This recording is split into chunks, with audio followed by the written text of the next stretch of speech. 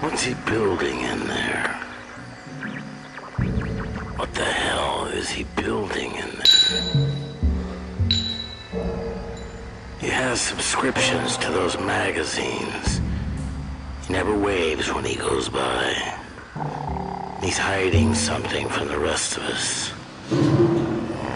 He's all to himself. I think I know why. Took down the tire swing from the pepper tree.